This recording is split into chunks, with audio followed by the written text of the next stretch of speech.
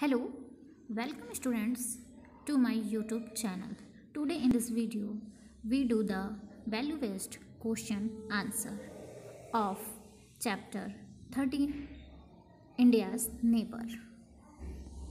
So students, आज हम class five chapter thirteen India's neighbours के वैल्यू वेस्ट के बारे में बात करेंगे सो स्टूडेंट्स अब फ़र्स्ट ऑफ़ ऑल आपको पता होना चाहिए कि वैल्यू वेस्ट होता क्या है वैल्यू वेस्ट तो हमारे सिलेबस में या हमारे चैप्टर के क्वेश्चन आंसर में कि वैल्यू वेस्ट नाम से क्वेश्चन क्यों दिया गया है? इसका मतलब क्या है? तो सबसे पहले बच्चों, आप लोग को जानना है कि वैल्यू वेस्ट क्वेश्चन होता क्या है? वैल्यू वेस्ट का मतलब क्या है? ठीक है? सो स्टार्ट करते हैं हम सबसे पहले means of value based question okay that means the sample value based question deal with the life skills and values attend by students like self awareness empathy critical thinking creative thinking decision making problem solving effective communication interpersonal relationships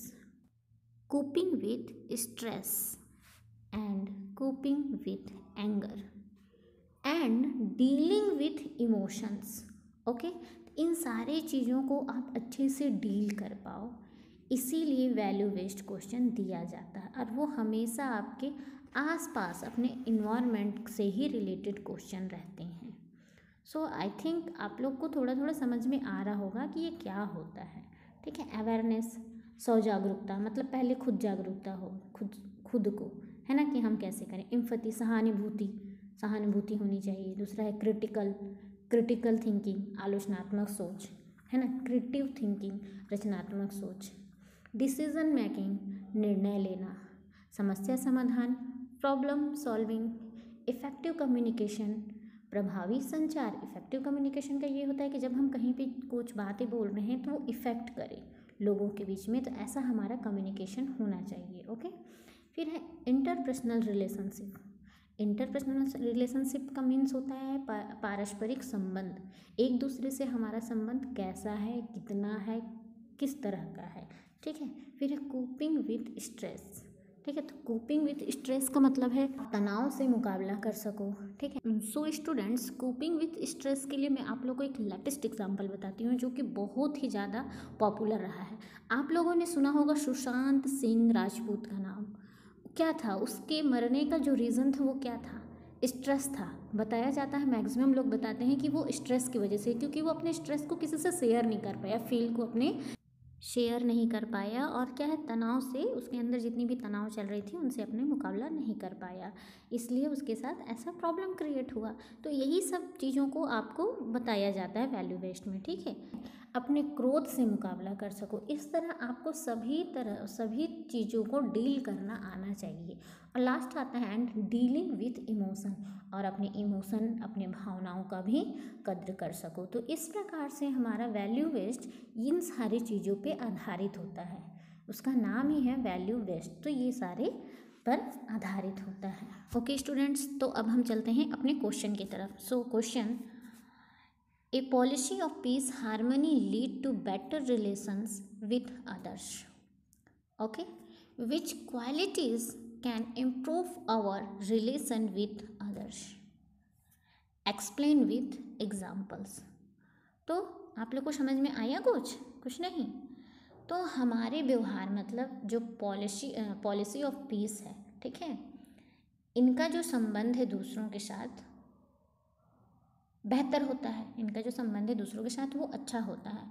तो हमको ये बताना है कि कौन से गुण हैं जो दूसरों के साथ हमारे संबंध को बेहतर बना सकते हैं? उदाहरण के साथ समझाइए। ओके आई थिंक आप लोग को क्वेश्चन समझ में आ गया होगा। तो अब हम आंसर की तरफ़ चलते हैं। बच्चों मैंने दो आंसर दिया है। आपको जो पसंद हो वो वो आप लिख सकते हो। ओके देन फ़र्स्ट आंसर है हमारा क्वालिटीज़ लाइक like, जैसे कि मैं पूछा है कि क्वालिटीज़ है ना? तो फ़र्स्ट देखो इसमें क्या दिया हुआ है? Patience and sincerity can go a long way in nurturing good relationships when one is sincere towards someone else there is a tendency to go out of the way to help the other persons. That means patience and sincerity जैसे ability को relationships को, रिश्तों को अच्छा बनाने के लिए ठीक है? रिश्तों को अच्छा बनाने के लिए एक लॉन्ग टाइम वे तय करता है। एक लंबा समय का रास्ता तय करता है, ठीक है?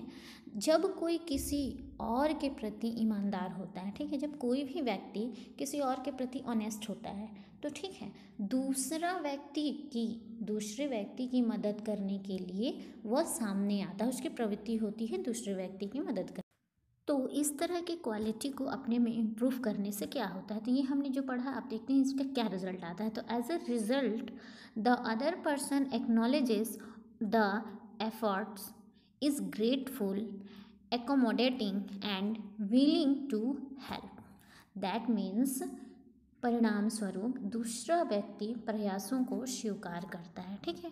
वो भी स्वीकार करने लगता है, उसका आभारी होने लगता है, ठीक है? आभारी होता है, मिलनसार होता है और मदद करने को तैयार होता है, ठीक है? तो देखा आपने इस क्वालिटी के डेवलप होने से कि, कैसे परिवर्तन आ जाता है, ठीक है? तो इस तरह से ये सारी चीज़, ये सारी क्वालिटीज़ आप में भी अच्छे से परिवर्तन ला सकते हैं, इसीलिए इस क्वेश्चन को दिया जाता है आप लोग के सिलेबस में। जैसा कि स्टार्टिंग में मैंने आपसे कहा था कि मैंने दो आंसर दिए हैं तो आपने पहला देख लिया, अब दूसरा देखते हैं okay the qualities that can improve our relations with others are तो कौन कौन से क्वालिटीज़ होते हैं जो कि दूसरों के साथ हमें इम्प्रूव करना चाहिए? सबसे पहला है म्यूचुअल अंडरस्टैंडिंग म्यूचुअल अंडरस्टैंडिंग ठीक है? सेकेंड है टॉलरेंस थर्ड ग्रेटिट्यूड तो वे गुण जो दूसरों के साथ हमारे संबंधों को बेहतर बना सकते हैं। फ़र्स्ट क्या है? म्यूचुअल अंडरस्टैंडिंग मतलब परिपक्व की समझ, ठीक है? दूसरा टॉलरेंस सहनशीलता। और तीसरा, क्या है? ग्रेटिट्यूड ग्रेटिट्यूड प्रति आभार।